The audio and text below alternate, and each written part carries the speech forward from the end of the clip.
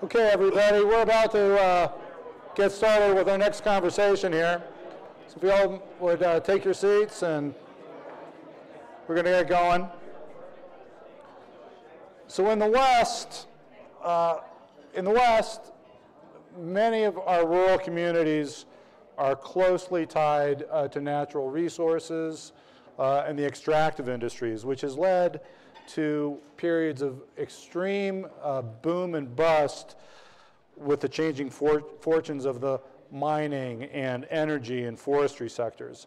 Uh, many communities are now dealing with uh, big changes in the energy industry. Uh, coal mines and coal-fired power plants are closing in many parts of the West. At the same time, new extraction technologies have uh, fueled, fueled uh, booms in uh, oil and gas. So the scale and pace of change in resource-dependent communities can be extreme, uh, but the lessons that we can learn from those communities should be applicable to all communities in the rural West that are dealing with uh, today's economic trends, such as increased automation and the shift to more of a service-based economy. So our panel, our panelists are discussion leaders uh, represent communities dealing with different phases of transition. And they're going to help us uh, share, they're going to share their experiences to help us understand what communities can do to better prepare for the inevitable change uh, in their communities. Um, what does a resilient community look like? Uh, what kind of investments can be made today to support long-term prosperity? And how can state and federal policies help those communities that are, that are dealing with drastic changes that are beyond their control? Uh, our panelists today are Kent Wilson, a county commissioner, commissioner from Emery County, Utah, Daniel Stenberg, Economic Development Coordinator for McKenzie County, North Dakota, Arvin Trujillo, CEO of Four Corners Economic Development in San Juan County, New Mexico, and Jack Morgan, Community and uh, Economic Development Program Manager for the National Association of Counties. So I'm going to ask uh, each of you to start by giving us an overview of your community and the work you're doing uh, to adapt, to change, and to become more resilient. So, Kent. Good afternoon. First off, I'd like to uh, say thank you for the invitation. As, as, was said, I'm a county commissioner. I've been there for about two years. Um, my county is in eastern Utah. We have been a coal mining community and power generation, uh, coal mining for over 100 years. Uh, I personally have four generations of coal miners in my family. In the last seven years, we've, we've went from a population of 12,000, and, and now we've bottomed out at about 10,000. And so we've lost 2,000 of our residents, and that's due to uh, coal mine closures. Uh, the last couple of years, we, we have been told that our coal mines or our power plants have an end of life, and that is roughly 2036 and 2042. And so we've got a 15 to 20 year window to become something. About six months into my tenure, our economic development person, uh, the state of Utah stole them and, and, and are using them to, uh, he went to work for the university. And so it put us into a situation that was kind of tough. And what we realized is our economic development directors for the last 20 or 30 years, we get them, we, we get them educated up two or three years, and then somebody comes along and steals them. And it's mainly been the universities. And so what we've decided to do is take a different path. Uh, we, through Utah Association of Counties, Brandy Grace, uh, we've tried to, we're, we're looking at it as more of a regional basis. And so we've partnered with a sister county, Carbon County, uh, just to the north of us. There's mainly a coal mining community as well. And we've, we've through uh, Utah Association of Counties, we have hired, uh, his name is Stuart Clayson, and, and he is representing both counties and going out and, and we're doing it as a region. And we've found some success. We've been doing that for a year. We've been strengthening partnerships through Association of Governments. Uh, just two months ago, we had a local company, electronics company, Intermountain Electronics, that announced that they are going to expand, and over the next 10 years, they will create 300 jobs. So that was a, a great first year. And the local, or our state governor's office, uh, uh, Economic Development Office helped participate with state incentives, with local incentives. Uh, we were successful. And, and so we're off to an exciting start. We are finding new partnerships, and, and, and we're excited, and, and thank you. Great, thanks, Scott. Dan? Uh, so McKenzie County is at the far west side of North Dakota, right in the middle of the Bakken Shale play. And so come 2010, uh, we just had a lot of changes that we didn't know what was going to happen. But uh, since 2010, we've gone up about 300% in population. We were, when I was growing up there, it was 1,500 people. We're now 7,000 on our way to maybe 15,000 people for our town. Our county has doubled about in population. And it's obviously um, brought about a lot of infrastructure challenges. 2013, 2014 was really the boom years, and we and we just had did not have the infrastructure built out for that. Thankfully, in the past few years, we've been able to get a bypass built around town. We've been able to get water, uh, good water supply um, to our community, but we're still we're still looking for more workers. We did face a little bit of a downturn with the uh, with with the oil prices going down in 2014, 2015, but all of the services have only um, increased. We've never decreased in school enrollment um, since 2000. In 2005, we were maybe 500 students, and now we're up to 2,000 students in our school system. So we've had to build new schools and different things like that. It's been a challenge, eh, but it's it's better than the alternative. I thought I would end up in North Dakota. I lived in Washington D.C. for five years, but I didn't think I would end up in, back in my hometown. But I lived two miles from where I grew up. My sister moved home. My brother moved home, which wasn't that big of a surprise because he's on the home ranch. But it's just um, it's just kind of a fun atmosphere to be in because it's you, it's the familiarity of having grown up there, but then it's the newness of all of these people moving in. And so I just uh, I appreciate being able to be in this position and try to manage this growth um, because it is some good opportunities, but it but it's still a lot of challenges for a lot of people as well. Arvin? Uh, Thank you, and again, I want to thank everybody here for allowing me the opportunity to come present to you. Uh, In the Four Corners area, eh, right now, we're focused within San Juan County, New Mexico. But as I said earlier, we're really looking at the Four Corners region because uh, the energy industry, coal, oil, and gas, affects the full region and how the full region has been able to prosper over the years. And again, we're looking at challenges coming down the road, much like uh, Mr. Wilson sees there in, Ut- in Utah uh, with San Juan Generating Station, right now destined to close in 2022. Uh, Four Corners Power Plant may be looking at 2031. Uh, Navajo Generating Station out in Page is looking at the end of this year. Uh, Cholla Power Plant's looking at 2025. So what has been really the, uh, the economic drivers in the, in the whole region there is transitioning at this point. And one of the things that we've, we've capitalized on, looking at where things are, hap- what's happening with oil and gas as well as with coal, is really forging partnerships. Really looking at the Four Corners area to say, okay, how do we begin to work together? I've been in this position now going on six months. I'm a mining engineer by education and by my first career. I worked for the Navajo Nation for 12 years. I've, I've done a number, I've worked for a power plant for another 10. So I've seen uh, many different aspects looking at the energy, uh, energy area.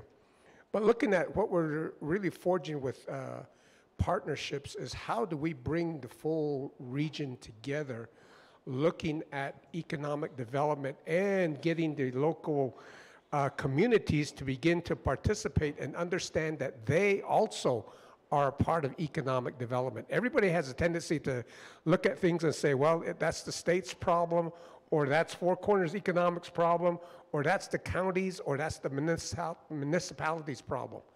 But what it is, it's really the community's challenge to begin to figure out how we can uh, begin to branch out and develop accordingly. Really, what we've been doing is one of the big things we did was the Four Corners Future Forum. We were able to bring the four states together in that region, as well as uh, four of the seven tribes. We first one we had, where we had 140 participants. The second one we had about 100. From there, we began to develop the priorities for the region. We began to do surveys. We began to do outreach within the region because the people there in the Four Corners, we don't recognize the boundaries. Everybody else seems to recognize the boundaries, but we don't. We shop, we go, we go to entertainment, we do different things throughout the Four Corners area. And we begin to, and we also share with one another in that aspect. And so, building on that, we've been really focusing on developing those partnerships and figuring out how do we begin to work with each other. Uh, because, qu- quite frankly, even though we're within the same proximity of one another, we don't know how to play with each other. And so we're learning that aspect, and, it- and we're beginning to grow and develop in that aspect. Real quickly, we've got a Four Corners uh, Regional Broadband Initiative that we're working on now. We've got a petrochemical industrial site as well as bringing a railroad into San Juan County, looking at that and looking at how that would also benefit the four states region. And we're also looking at how we can utilize energy, looking at value added type products, looking at uh, natural gas into, petro, into petrochemicals, looking at coal and coal uh, sequestration, looking at new initiatives on those, on those areas. So again, there's a lot happening within the Four Corners area, and we're really uh, looking at new ideas and new areas to begin to develop our mark here in the four states region. Because again, it, it's becoming vital for us if we're going to continue to prosper and to continue the type of quality of life that we see in the region. Great, thanks. Jack. Great. Well, thanks, Jim, and, and it's great to be here uh, in New Mexico. Uh, I'm Jack Morgan, uh, program manager with the National Association of Counties, NACO. Um, just quickly for background information for those that aren't familiar, so uh, NACO is a, a membership-driven organization uh, based in Washington, D.C., and we represent the 3,069 county governments uh, across the country and some 40,000 uh, county leaders uh, from America's counties, from commissioners such as uh, Mr. Wilson to county staff as well, uh, like Daniel. Um, we, uh, and I would also, of course, like to mention that uh, New Mexico is a 100% uh, membership state, so thank you for your membership. And, and we do also have great membership across the West and, and work very well with, with WGA. So, again, great to be here. Uh, I always learn so much more uh, than you guys will learn from me, uh, I'm sure. Um, but as you might imagine with the association, um, we do advocacy on Capitol Hill for with the United County Voice, kind of representing county interests on Capitol Hill. Uh, but my team uh, is, is what's called the County Innovations Lab. Uh, so we're more of the uh, best practice technical assistance uh, wing. Uh, we also do data and, and research and mapping. Uh, I would encourage you all to, to check out uh, our County Explorer site. Uh, uh, if you're really into maps and data, we've got data and maps on, on all the 3,069 counties. Um, but, but really, I work on a lot of the community economic development and some energy uh, best practices, technical assistance, organizing peer exchange uh, events such as this. So really connecting county leaders to each other so um, you know th- they can really learn from each other. That, that's kind of our mantra. Is we really believe that that county leaders uh, have a lot to offer and, and as far as peer exchange and, and we are here to provide guidance and, and, and mentoring uh, and really connect with thought leaders and experts but we really feel that bringing county leaders together they, they have a lot to learn uh, so we have done a lot of that uh, since 2015 in this space of economic resilience, particularly uh, looking at uh, resource extraction uh, economies, uh, and mostly looking at America's coal communities. So for those that, that aren't familiar, kind of nationwide, a lot of it is here in the West. There are over 150 counties that are coal producing across the country. As said, obviously there's a big band here in the West, of course, and then Appalachia uh, on the east, uh, another major part. And then more nationwide, there's over 330 counties that are that have coal-fired power plants. Uh, so with changing conditions in uh, in the coal industry, that is a significant burden, obviously for jobs, as we all know, but for county governments themselves, that is huge for for tax revenue and a big concern uh, for county governments themselves. Uh, so we developed a, a peer exchange uh, uh, and kind of thought leadership, uh, uh, peer learning uh, program since 2015 to directly support coal-impacted counties uh, and regions. We partnered with the National Association of Development Organizations uh, to really look at coal-reliant communities and, and how they can uh, become more resilient economies, as that's the what was mentioned earlier. How can uh, you react and respond to changing uh, conditions and, and be more, uh, have more economic diversification, so not be so overly reliant uh, on that one industry.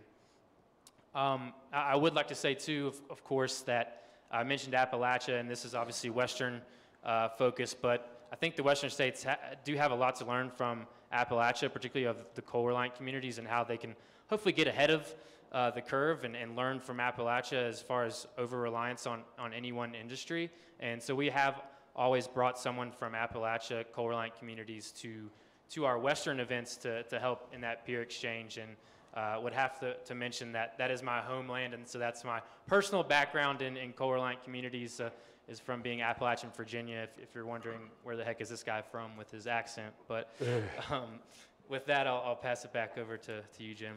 Good. Uh, thanks, Jack. Uh, Kent, you, you, mentioned the population reduction. I think you said the, the county population went from 12,000 to 10,000. Who are the 2,000 who left? Or is it mostly young people? Who's leaving, and, and where are they go? Where are they going, if you know?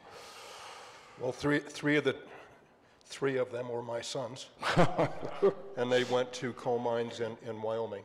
And so Wyoming and, and North Dakota, uh, gas as well. And, and so they were uh, young families uh, that were important to our economy. So when, when you lose one job, there were three to five that went with them. And has Emery County started to embrace tourism as an alternate industry, and, and what, what resources or technical assistance have you needed to uh, pursue that? Well, it, roughly 11 months ago, we passed our public lands bill where we uh, set aside roughly about 400,000 acres for recreation in the San Rafael Desert and about 650,000 acres for wilderness. And it was quite controversial. Uh, there were a lot in my county that uh, felt like there is no room for wilderness. Uh, but at the end of the day, we felt like it was necessary to get that public lands bill passed, so we had created some certainty. Businesses don't want to come into a community that we're, we're 92% federal and state properties, land, and, and that created some uncertainty. We didn't know what, where that was going to lead. Our fear was as a president was going to come in and make a designation and just do away with energy completely. And, and so we're in the beginning stages of tourism. Our uh, visitation to our desert is probably up three or fourfold. Uh, the problem I have is our little town of Green River, they probably generate about $600,000 a year in TRT revenue. But most of the vis visitation is on our desert. And, and, and so when we spend a dollar for uh, tourism and we get that person to come, most of the revenue goes to a different county. And so we're working, we've got a, a local family that's going to create a $2 million KOA type business. We've got another family that is looking at creating a uh, Polaris ATV rental type business, and we're hoping to have them going in the next, uh, next year. My county has been slow to embrace tourism. They want the desert and the mountain for themselves. And, and so uh, it's been a slow process, but when they closed that first power plant in Carbon County two years ago, it opened everybody's eyes. And when three coal mines closed, it's changed attitudes. Right. Are there other industries that are you're pursuing or that seem tenable for the counties? It's interesting. We have a, a, a group of counties, or seven of us, and it's called Seven County Coalition. And about two years ago, there was a a professor from BYU that came and made a presentation about thorium nuclear power. And so my county, we took that serious. We went out and bought a 20,000 square foot uh, building that was vacated by the coal mines. And it was, uh, cost us a half million dollars. And we raised our hand and said, here we are. And since then, uh, our senator has gotten us uh, a million dollars from the legislature to go towards nuclear research. Uh, he also helped us get a coal combustion machine from the University of Utah that they were going to scrap. In their eyes, coal is going this way. Uh, for us, we're not going to give up on it. And so we've created this research facility that we've gotten over $4 million in the last year, and we have high hopes for it. Well, good luck with that. Daniel, you're on the other side of the population coin, so talk about the, the, the population boom and, and who, who's, who, who's been moving uh, to your counties? Uh, Are they temporary workers? Are you seeing more uh, families moving permanently? And, and what are families looking for when they consider uh, moving to McKenzie County or Watford County? Yeah, traditional, or probably 2011 to 2013, 2014, it was pretty much just the worker that was moving, and it was usually um, a man, and he left his wife at home, and um, and then he kind of work here for work in our county for a couple weeks, and then be off for a week back back home. Now that has transitioned, especially for those that did have families, and they're like, okay, yep, this is a real job, and so they've been bringing their families here, and so then that's obviously impacted our school system and our housing situation as well. Um, housing has been is one of our biggest challenges right now, just with, um, I mean, our apartments are pretty much full, and our single-family housing is just difficult to get built. Um, our FHA loan limit amount is 315,000, and builders come to us and say that we they can't build for uh, build a new house for 300 and they need probably like 360, and so it's not meeting that FHA limit. So then people can't build houses, or people aren't buying the houses, and so the county has stepped in through our job development authority, and we're subsidizing the difference um, between the FHA amount and um, and, and the amount that the builders are needing in order to make it an economic venture. And so, uh, but also all the other quality of life things, we've put in a, a 265,000 square foot um, conference center and event center that has, um, it provides recreation opportunities, a couple sheets of ice. We get, we don't have a college in town, but, but people are really liking that and they're bringing their college teams and come play and we like it because they're entertaining us we're a pretty big uh, hockey um, town but so we're just trying to i mean so we've had a lot in our schools we've been blessed with we've been passing all of our bonds for getting new schools other areas um, that have been affected by the oil development they are more skittish about investing for the long term but so our schools are um, are growing rapidly, but we're able to have uh, the kids, for the most part, in permanent structures. And that's because that's what we're seeing that people are asking for is that they want, they, they want, and, then- that's, and they, because people choose, sometimes they choose location first and then they find their job after that. And so we are trying to stay on that cutting edge of what we can do to make, um, make our area a good place to live. Not just have a good paying job, but you have to have a good place to live.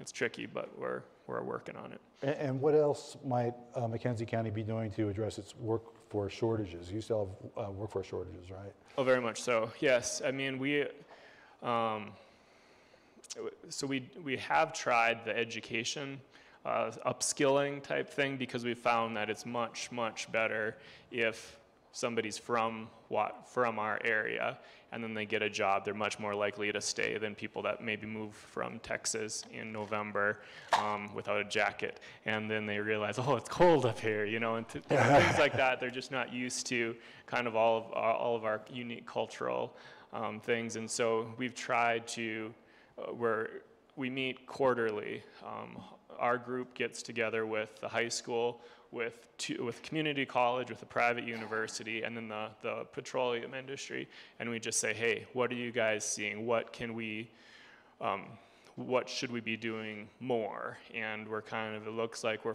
we're going to be heading towards a career academy concept anyway. And I'd be, I'd love to talk with anybody who's had more experience with the career academy concept because we're just in the feasibility. Um, we're looking to do a feasibility study, but I'd like to learn more about how that all works because um, because we see if we can grow our own, it's much better than kind of importing. But we'll take anybody who's willing to come work for us in our you. area. So, so Arvin, uh, you mentioned a number of facilities in the Four Corners region. I'm most fami- familiar with uh, the Navajo Generating Station. I used to work for Salt River Project, by the way, so I've been through that.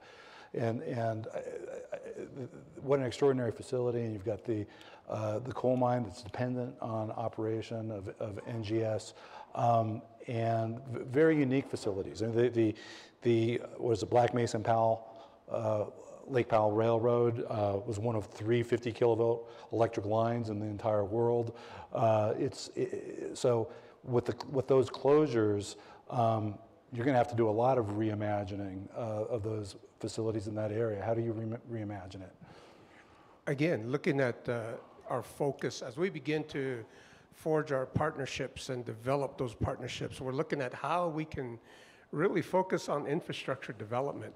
That's one thing uh, we've been, we haven't really looked at because of the, the, uh, the steady nature of coal and oil and gas in, in the past, and the, and the fact that coal was very steady, oil and gas would go up and down, but the communities, when you saw a downturn in the economy, you would always say, well, oil and natural gas will come back, and it usually did, and you started to see an uptick again within the region.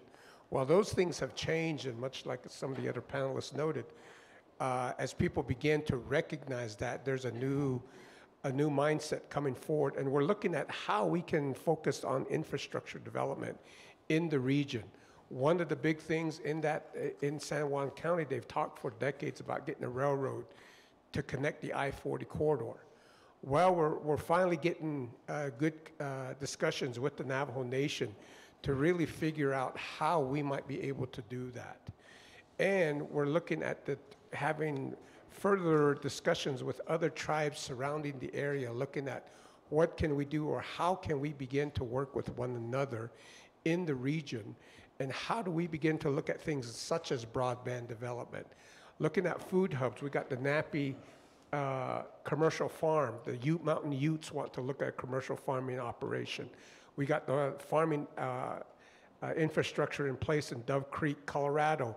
Again there, there are opportunities there that we really haven't taken hold of uh, we're looking at uh, our Four Corners marketing as well as outdoor recreation and how do we begin to brand that aspect? How do we look at cultural development? But again, it's looking at that partnership aspect and saying, how do we work with each other in order to forge that? And much of our initial efforts have been based off of the work that was done in central Minnesota by Region 5 and bringing a five county region together and really getting the communities and the constituency within those communities together to start looking at economic uh, development as a collective group.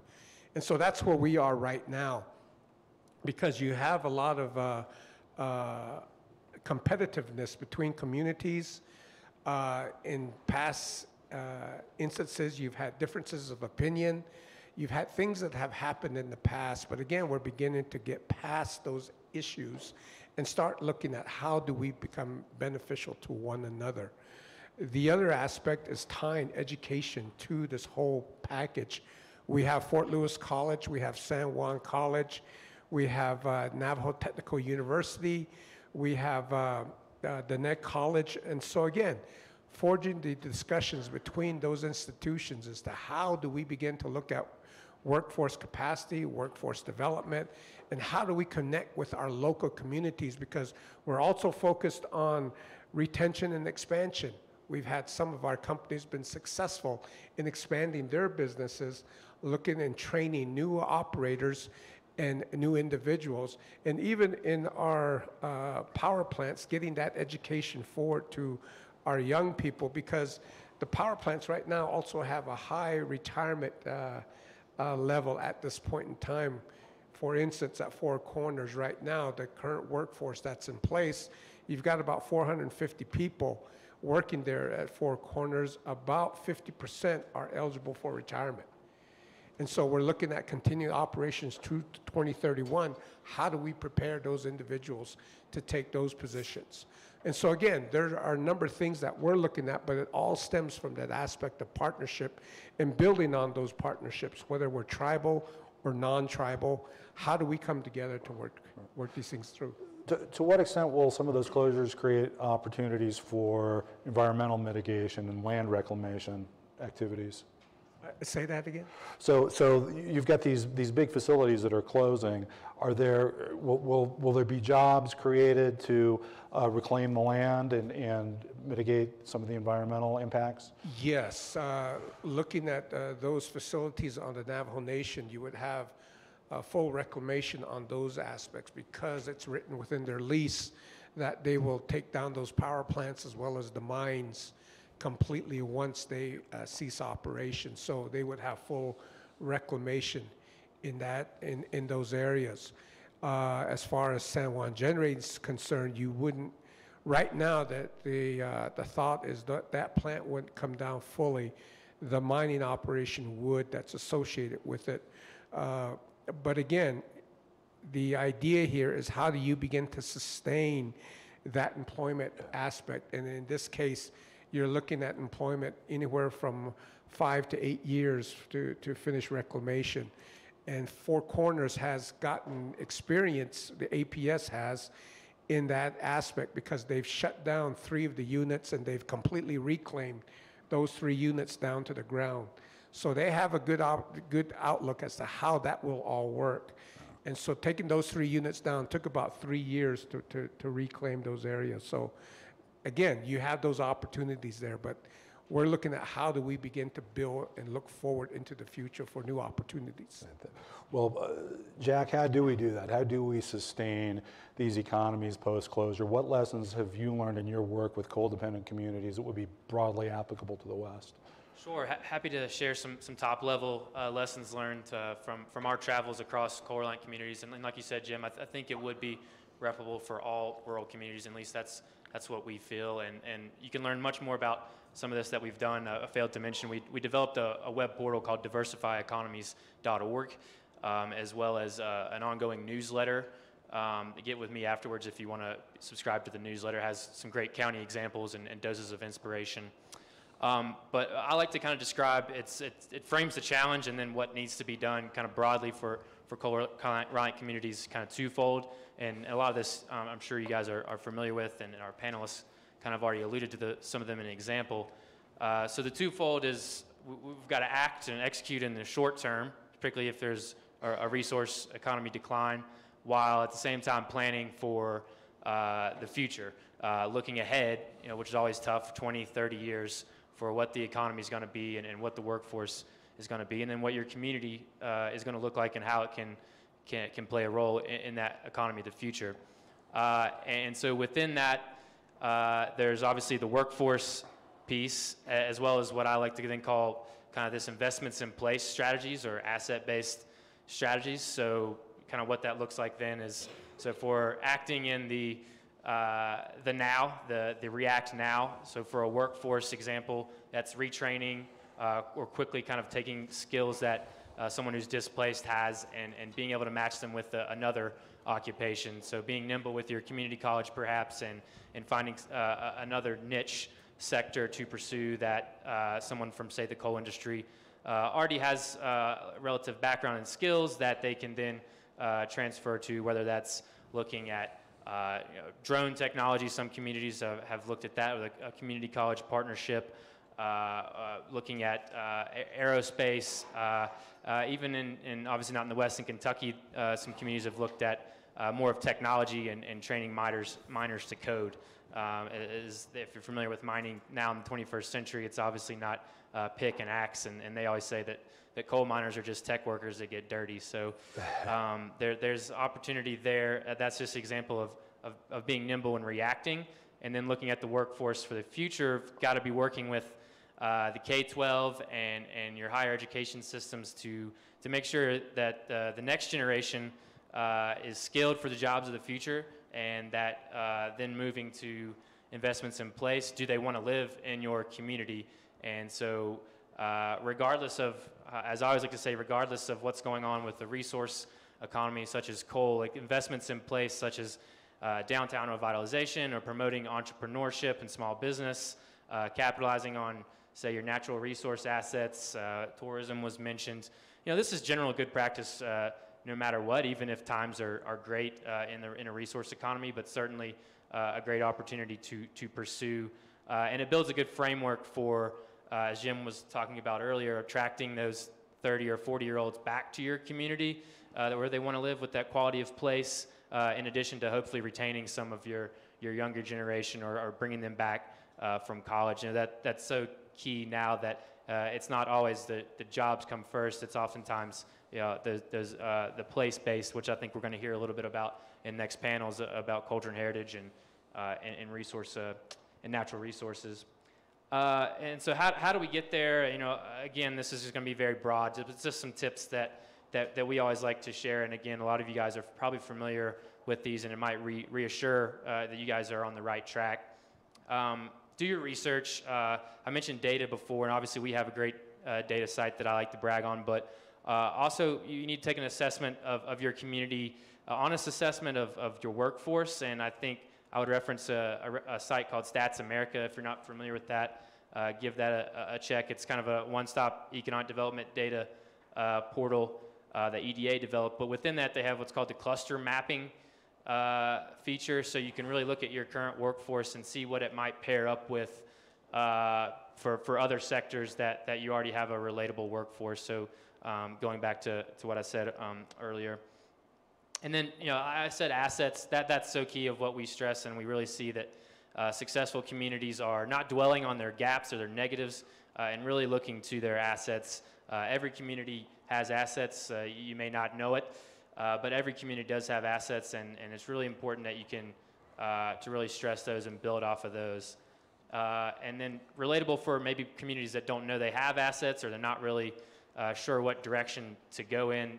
Uh, obviously, we know that planning is, is, is very critical, uh, and, and a piece that we always encourage is to add some accountability or, you know, Jim, you were mentioning uh, you know, we, we can have these best practices, but not always move to action. And so that was one piece that we added in, in our programming with our teams of coal-reliant communities is to, to develop an action plan. So you take what you may have learned from other communities or education, but really uh, meet as a group, develop a, a, kind of small group within your community, uh, and then chart out an action plan and, and, who will be accountable and responsible and play a role and, and maybe add a rough timeline for that. And, and Arvin and Commissioner uh, Wilson have, have gone through that process as, as a part of our, our programming uh, as well.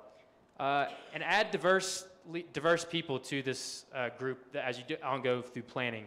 all too often it's a, it's a mayor, no offense to mayors that are here, or an economic development professional, but bring in folks that, that aren't from traditional economic development, and they may, they may just be a champion uh, in your community that, uh, that really knows the community and, and, and, has some great ideas.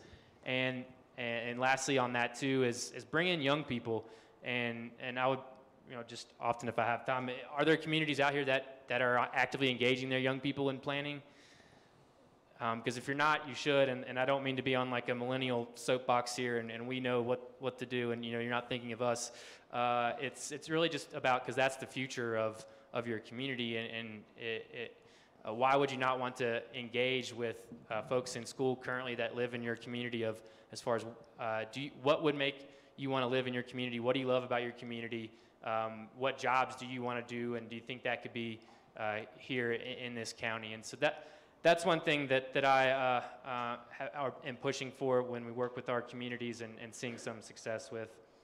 Uh, Arvin mentioned partnership, and sorry if I'm going over. Wow. Uh, Arvin's always talking about partnership and playing together. That's, of course, what, what we love to to stress uh, cooperate, and, and of course, cooperate can mean both within your community too. You don't want to have uh, folks within your community not on the same page, and that's what the planning process is for. Uh, but also co- cooperate with, with neighboring counties, and that's why the Utah folks, that's a great example of, of the two counties partnering together, as economies don't know political boundaries or, or, or county boundaries, and so partnership uh, there is huge. Uh, think about also, if you're not familiar with WealthWorks and the other forms of wealth or capital, uh, I see some nodding faces. So it's, it's not just all jobs. Think about other assets and wealth in your and capital in your community. There's there's a whole slew of them. But one thing I will note is social capital. Uh, so uh, really being able to connect people together and, and these group group meetups and, and, community events are awesome for that. Uh, that. That's great for a quality of place and attractive, but it's also huge for finding a job. Uh, oftentimes, and, and, this maybe happened to many of you all, uh, you, you, find a job and don't even go through application process just from connections of uh, your friends within your community, or I know a, a, job that I heard you got laid off from the mine industry. You can you move on to this opportunity. Um, and I can go into a lot more of that, but I want to be cognizant of, of time. And, and so I'll leave you with, with one uh, piece, and maybe we're still on kind of baseball World Series high here in DC with our with our Nationals. But I always like to uh, use the baseball analogy of, of hit for singles and not home runs. Uh, and in the economic development sense, uh, to try to get jobs back uh, through singles. Uh, if you're an old baseball guy, you know you want to hit the singles, advance the runners over, and score your runs like that. And it is great that you can get a home run, such as a 300 job, you know, piece there in, in, in Carbon County. Uh, but that doesn't always happen, and, and so hit, hit those small singles, three jobs, five jobs at a time, and celebrate those uh, as well. Well, if the Nationals uh, hadn't hit home runs, this would have been a longer. uh, That is true. I knew that was uh, coming. Till su- summer season. Um, So I- I, I want to open up the conversation in the entire room. So, so if you have a, a, a question or a comment or an, an ex- experience in your resource-dependent community, we'd love to hear about it. Bill Simons, hold, hold for an- a microphone.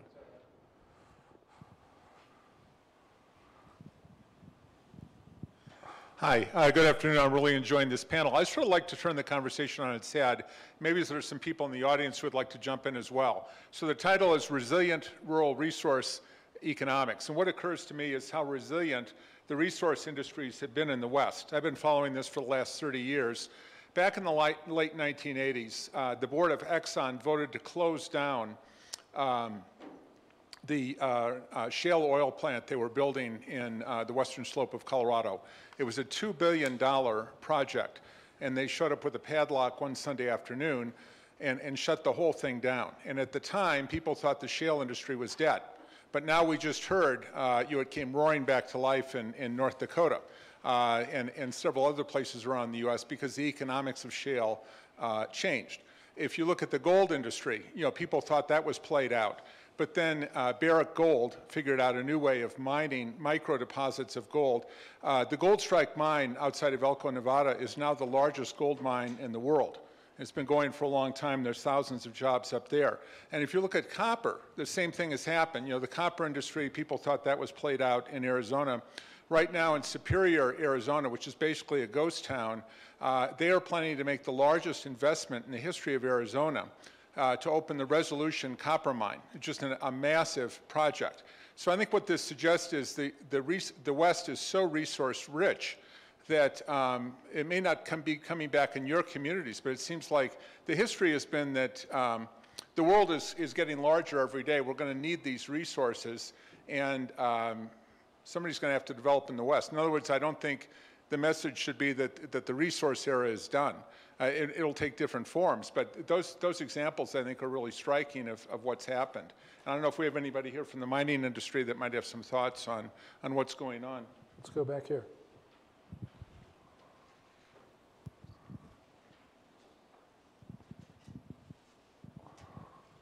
Thank you. Uh, in the United States, because we have split estate for the surface and mineral ownership, which is the only country in the world that does, uh, we have 12 million mineral owners in the United States. Uh, because those minerals have been severed so much, many of the people, the young adults that have left your counties, have inherited minerals uh, from their parents, grandparents, and still have a strong economic interest in your county. I, I, know for a fact McKenzie County, a large portion of the royalty checks that goes out are to people that don't live in McKenzie. So there are a lot of people that have left, a lot of young people that have left that still have a very strong economic tie back to your counties through mineral resource. Uh, and then also those 12 million mineral owners, what, how much they've deposited to all the local banks and driven the local economy, the agriculture for years. So you do have a lot of people out there that have a very strong interest in what's going on in your county. Thanks. Yeah, Drew. Drew Kramer. Uh, this is Drew Kramer with Tri-State Generation and Transmission Association out of Denver.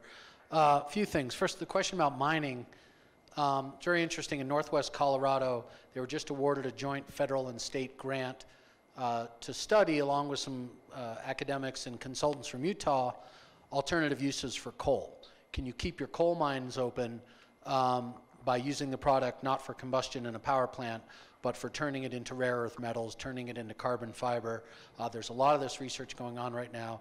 They're going to do a, with this grant money, they're going to study the feasibility in northwest Colorado of turning coal into this, you know, the feasibility of turning coal into these products, and is it, can something like that happen in a rural community like Craig, where there aren't, there's not terrific access to major transportation routes, it's a little off the beaten path, but could you have some sort of manufacturing or research center in a community like that? So that's one thing I know that's going on in mining is starting to study alternative uses for coal. Um, second thing I wanted to say, I want to give a plug for Jack and NACO because they did a workshop event in Denver earlier this year for coal reliant communities. It was much like this event, it was reasonably sized, it was very interactive, it was team based, and Jack, I thought you, a lot of good stuff came out of that. So if you haven't been to a NACO event, I'll give a little plug for Jack, um, an unpaid plug for Jack. And this, I didn't pay him. the stuff you guys put on is really helpful. Appreciate, uh, Drew, I, if I could echo on that too, on the advanced uses of, uh, of coal, that I, I would encourage folks to, to do look into that. I know, I think Jeff's going to talk a little bit about that in a panel, what's going on in Utah. They're also doing a lot of that uh, in Wyoming. Uh, our team that, that we worked with from Campbell County, uh, Wyoming, is, is really uh, tackling that as, as far as kind of developing a, a research and development center for advanced uses of, of coal and carbon, uh, you know, for, for a myriad of, of products, uh, alternative uses of, of coal and carbon. And in Virginia, they're looking at uh, graphene, graphite for, for a- as an example of, of that too. Um, and, and just to address the, the first question here too, it's a great question and a comment that, that, that we get a lot of, a lot of times. And, and I think that's part of the, the, the narrative that, that, that we're trying to, uh, to help change is that, uh, yes, resource uh, extraction uh, economy is, has been resilient across the West, but uh, as you said, it might not have constantly been resilient within your community or one community, and it's kind of been strong as it moves around uh, the West. And then secondly, I think it's, it's not a either or, it's both and, um, as I kind of alluded to, and uh, communities can be very proud of their resource uh, economy that they have and really push to advance that. Uh, but that doesn't mean they can't be investing uh, in other opportunities uh, such as you know outdoor recreation or, or advanced manufacturing or entrepreneurship, tech economy. They, they, they shouldn't be pitted as, as enemies in that they can together uh, really uh, make your community uh, a strong economy and provide a lot more opportunities for, for those that don't necessarily uh, want to work uh, in the resource economy for, for them to stay in your community um, or come home. I hope, hope that makes sense that uh, it- it's kind of a both and. Uh, and, and as, as Drew knows, we talked about too, this, that's the same for, I think we'll talk about renewable and alternative energies too. Uh, it's a both and, and, and uh, that's a whole other conversation, but that, that's the same kind of narrative. Well, the last thing I had was really a question for the panel. Jack made a comment about, you know, getting people involved in not just the head economic developer in town and not just the mayor. So that was sort of my question. Um, Craig, Colorado, in northwest Colorado, is a town of about 9,000 people. It's kind of the closest thing we at Tri-State have to a company town. We have a 1,300 megawatt power plant there. We have a coal mine there. Um, and there are changes coming. We know we're closing at least one of the units in about five or six years. The coal mine's just been permitted for another 30 some years, but we don't know what's going to play out there. And, you know, in my observations, Craig has a lot of people involved in economic development. There's a Chamber of Commerce, there's a county funded tourism department. Till recently, there was an Economic Development Corporation. There's a ballot created entity called the local marketing district It takes hotel tax and uses it for to, to fund local marketing grants so there are a lot of people focused on economic development which is good but the town's never really quite been able to coalesce around a vision or an idea you have county commissioners that come and go some are more involved in economic development others some believe it's a private sector thing only, and the county shouldn't be involved. You have changing personalities on the city council. So I guess my question for the panelists is anecdotally, and I know there's not one model that fits every community, but you know, your thoughts on kind of who is there one person, is there one entity in a community that really needs to take charge and kind of be the point guard or the point person on this stuff while including uh, everybody else? What's the proper role of government versus private sector? Just I'd like some thoughts and um, you know anecdotes on sort of your vision on who who should run this stuff and how do you get a community to coalesce around a single idea or vision. Yeah, and I'll let Arvin talk a little bit about uh, the Future Forum and, and what they've done there as, a, as an example. But just in general, and, and like you said, Drew, it's, it's not any one uh, person per se that, that I would encourage as, as, as far as the leader. But I, I would say that there, there needs to be some kind of, even if it's ad hoc and not necessarily a formal group, but there needs, whether that's the county group or town group or it's larger regional base, that, that needs to meet. And again, doesn't need to be formally meeting with minutes, uh, but just something that brings partners together. I talked about planning being important, and I mean that in an ongoing sense. Uh, planning should be constantly ongoing and checking in and not just meeting a couple times and then putting a thing on paper and then, and then that. Uh, and, so I would also encourage to meet people like where they are, and, and if you're having trouble with getting people together to come to, to City Hall, uh, you know, whether you want to go eh, to a brewery or something like, like that, or do something at a festival, or uh, a good way to get more people involved and, and, and meet people where they are as far as wanting to, to attend. And, uh, but it, eh, there's not a specific of who it is, but there does need to be kind of one spark plug. It does help that kind of be facilitator or champion, and then you know any kind of group that's constantly uh, meeting.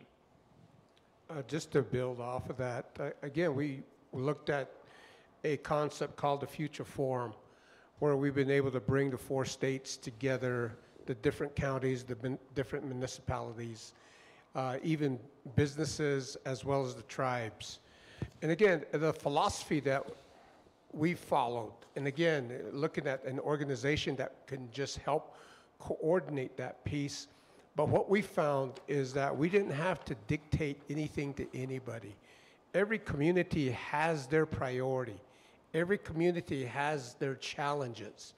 But what you find as you get people together and they start talking, which we found, uh, and it was a real eye opener to the four state region there, was they began to recognize they had common challenges, they had common priorities, and they had common projects that some were even working on and did not know that the next county over, or even in some cases the next municipality, were working on the same thing because they did not talk to each other. And so, again, it's bringing that aspect together to where individuals will talk. And what we also did was we didn't leave it just to the different governments or the chamber or etc. We brought industry in also. And we brought local business people in to hear their points of view. And the one thing, the one thing that we're working hard on, and it's somewhat of a challenge, is as, as indicated before, by, by Jack and some of the other folks was bringing in the young people. They, I remember when I was young, and I used to say the same thing. You guys forced everything on us, and you made all these mistakes. Now I got to clean it up. You know, don't trust anybody over 30. Uh, you know, and again, it's, it's forging that aspect in terms of saying, no, we understand that the communities that we're, the, the, the vision that we're seeing is something that you're going to be living in. How can you contribute? Help us understand what you're looking at so that as we begin to plan, we can begin to include that or incorporate that in. And more importantly, there's a dialogue between us and you so that you can begin to understand what we're up against and what the challenges are and how do we work through those challenges. So the Future Forum has been an opportunity for us to really explore this piece and work through this piece. Have there been ups and downs? Yes. Have there been challenges throughout the process? Yes. The biggest piece, again, is building the relationship. You get people looking at each other and saying, Do, Can I trust them? Are they going to steal my project? Are they going to take advantage of us? And again, it's working through those aspects and finding ways that communities begin to see that as a concerted group, the whole is much stronger than the sum of its parts. And you begin to find that as you begin to work on this. And that's what we're seeing now in our broadband project, in our petrochemical project, in some of our work related projects, even our food hubs and what we're trying to do in bringing that together in, in the uh, four states region. So again, those are things that we're working on. We're seeing some good benefits coming from it, and we're learning as we're going. But the big piece is, as you begin to do this, you start bringing other people in, so suddenly they begin to see that yes, I own this little restaurant out here, but you know, I can be a part of economic development. I can be a part of downtown revitalization. I can be a part of outdoor recreation. They begin to see their part in the bigger picture. And when you begin to do that, you start seeing more participation within the communities towards this effort. You have something? Great. Kevin? Well, Yeah, ju- I guess just one quick comment on that, on that question. Nothing unites like a common enemy or a common challenge. And so if you can find the people that are most affected by that one challenge, get them in the room together. In, in our uh, instance, that was childcare. And so our school system was really struggling with having teachers. Their teachers weren't coming to school. Because, I mean, they wouldn't say yes to take a job because they didn't have childcare our county workers and our city. And so we got the three entities, the school district, the city, and the county to come together. They formed a nonprofit, and boom, they opened a 200 child 200 child uh, child care facility because it was, and you can't have too many people involved. You have to have the people that are the the game changers. You want to take a, um, you want to take input from a lot of people but then when you're actually making the decisions get get it to a group of three to five you know and those are the ones that are, will be putting in the money and then go from there. That's kind of one of my thoughts on that Hi, my name is Heidi Khokhar. I'm the Executive Director of Rural Development Initiatives in the Pacific Northwest. We're a nonprofit that's been serving rural communities in Oregon um, and also Washington and Idaho for 27 years. And we've, what I will say is um, we are one of six hubs that does the the, the WealthWorks, so we're one of the wealth works hubs. And one of the things I think we at RDI think related to the WealthWorks hub, and I wonder if, what you think about it, has to do with the, the capacity of the local people and to not only see themselves as economy builders, like you said, um, Arvin, I think understanding that you almost don't have the privilege in a rural community to not be an economy builder. Um, there's just there's that's just part of it um, but also in the capacity needed by those to to invest in the building of the capacity of those people to work together to, for that social capital um, to connect with one another but also to connect with with the understanding that they, they may have the innovative solution that the rest of us are all looking for, but they're doing all their work in isolation without the, the benefit of peers. Um, anyway, I just wonder what you think related to leadership development, related to capacity building of the local people to engage in their own economy building and their own action. I'll take a first stab at that. Um, my predecessor, who did this job for 22 years, was really big on, um, he integrated with uh, Extension, and they have different programs for leadership. And I think it's if we can have, if you have 10 good part time leaders, I think it's 10 times better than having one professional leader. Because if you have a strong hockey club board, if you have a strong, um, you know, housing community, all of these different things. If that that is how you get a strong community. I mean, you can you can get the highest paid, you know, mayor to come to town who knows all of the things, and that community is not going to survive. And so next week we're sponsoring. It's called Lead Local. It's just a one-day training for people who want to become more familiar with parliamentary procedure, working with different um, different personality styles so that they are more comfortable saying yes when a board position comes available. And, and that's just kind of the culture that I came into with my community, and I'm just trying to continue to push that because that, I, from my perspective, that's where change gets made is when you have a bunch of strong mid, mid-level leaders. And to add to that too, looking both at the communities and the individuals working in that leadership aspect so that each begins to recognize their role, whether it's in the region or whether it's within a team. People have a tendency to forget about that. And finding their role or their niche within a particular area as you look at leadership and as you look at uh, community development. Because again, there are very successful communities in every region and everybody looks to that community says, I want to be like them, or I want to do just like they're doing. But what we're beginning to push as we talk through the future forum process is that everybody has a role. And so as you become successful in your role to help support this other community, you, in essence, begin to see benefits for your own community, much like an individual. And the analogy I've always used in our area, because basketball is really big, is I, I used the basketball analogy. I said, you know, I played basketball uh, throughout when I was younger. I played in all the Indian tournaments you could count on out there. And sometimes you go into a, a, a tournament and you have only four guys made it, or maybe three guys made it. The other guys are coming from work or whatnot. So you look up in the bleachers, you find two people, you say, come on, let's go. You bring them together, and for that first quarter, you guys, we, we play lousy because we don't know how each other plays. We don't understand the strengths and the weaknesses of each member. But as we progress through the game, we get better and better because now we know who the defensive person is, who can do the rebounds, who can shoot, who can drive and, and get into different areas and pass off. We begin to understand the strengths and weaknesses of each member of that team so by the end of the game, we're beginning to gel and we're beginning to produce.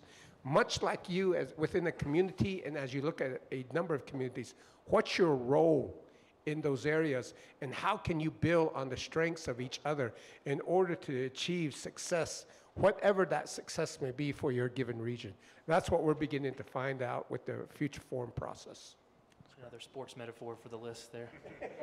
Just quickly, I'll add to that, and I can talk to you afterwards. Um, Virginia's got a great example. Obviously, I know not in the West of uh, some community coaching and a really young leaders development program uh, in the Southwest part of the state, which was uh, manufacturing and, and coal and tobacco challenged.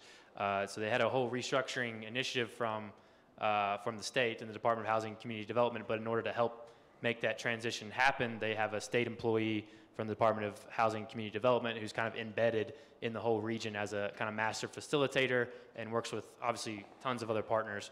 Uh, but really, have, they've done some awesome work in, in kind of rallying communities together for, for leadership training, um, et cetera. So I can get with you afterwards for, for more details. Uh, yeah, Annette Liba with the governor's office in Oregon. Daniel, my question is for you. I really appreciate you bringing up housing. It is a challenge that we see pretty much everywhere. Um, and, uh, and also childcare for that matter. But um, to focus on housing, I'm interested in understanding a little bit more about how the county subsidy works. Um, and then a related question, are you seeing workforce challenges? I would imagine that a lot of people who have construction-related skills could be working um, in other sectors making more money. So how are you addressing that piece as well? It's, it's a challenge. I mean, because some of our builders, they come from two hours away, two and a half hours away, and they are scared to bring their employees out to our community because oil companies come to the work sites and they start passing out, oh, how much are you making? You want to make $5 an hour more? Yeah, no, exactly. It's, it's about 30% more to be building in our community than other parts of our state because of that fact. And, um, and so we've had lots of people thinking about, you know, how can we how can we change this? Do we provide housing if you are working in the trades, you know, so that they can stay here, but then they have to prom, but it's hard because it's like you can't prom, make them promise, okay, you must work for this housing contractor, you can't get a job, it's hard.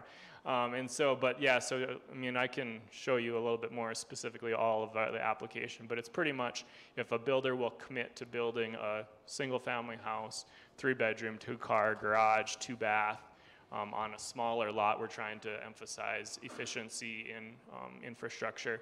So a smaller in size lot, we will, at closing, um, incentivize the process so that it makes it worth it for the builder and then it also makes it better for the buyer as well um, to, in order for to just to get increase the supply. There's a lot of um, home purchasing agreements but there's not or programs but not a lot that incentivize the supply of housing. Well so it's it's a forgivable five-year um, loan. So as long as they live there for five years, they don't have to pay anything back. And if they, if they sell it at a profit within those five years, we'll ask for a percentage of it back. But if they sell it at a loss, then we won't ask for any of it back. So Daniel, I, I found it uh, resonant uh, when you were saying kind of at the end of the day, uh, when it's really kind of down to brass tacks, you need that team of three to five people to sort of drive change. Uh, when I started at, at Western Governors uh, Association, I was reading these uh, books on change agency, and, and uh, there was one in particular that had just a few simple rules, and one of them was, no matter what your organization is or what its size is, you should have a board of three to five people, whether it's GM or a little local nonprofit, because it's going to be three to five people who do all the work, and if you're at a board with 40 people, it's easy to hide. Uh, and I, I love that idea, and I would have embraced, it, but I couldn't figure out which 15 governors I was going to tell couldn't be on my board anymore. So uh, we've run out of time on this panel. Let's give our uh, panelists a hand. And we're going to do just a very quick transition. We're going to ask our next panelist to, to join us here. We're just going to uh, not take a break, but just have a five minute transition here. Thank you.